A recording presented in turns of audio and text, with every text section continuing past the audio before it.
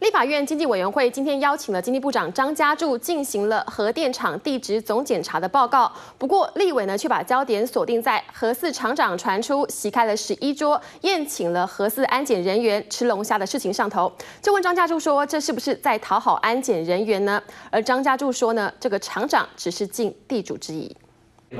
外传核四厂长王博辉以高规格宴请核四安检人员龙虾宴，立委十七号在立院经济委员会质疑此举是不是有拉拢之嫌，经济部长张家柱作出回应，认为只是人之常情，媒体无需过度解读。那是他私人为了感谢大家的协助而私人为了感谢，对，这是台电同仁告诉，那就更不对，才了解，那就更不对了。他徇私，他在收买人家了，绝对不是，人家就查他的厂，他私人感谢我觉得他是以一个厂长的身份，这么多人来帮他做一些工作啊，他要请请大家吃个饭，我觉得这也是人之常情啊。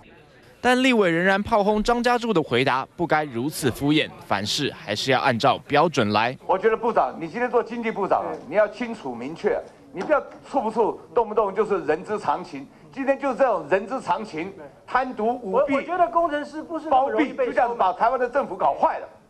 另外，日前传出前核四安全监督委员林宗尧不愿接受政府聘请的职务，张家柱解释是林宗尧个人不愿被贴标签，影响公正性，但仍将担任外部专家，从外部监督核四安检。他从开始他就不愿意担任政府的一个委员，他不愿意担任这个不不愿意被贴标签，不担任委员，所以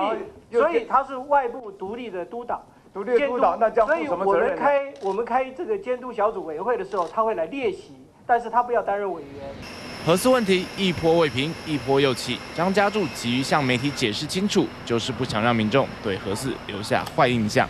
UDN TV 陈希文、邱心怡台北报道。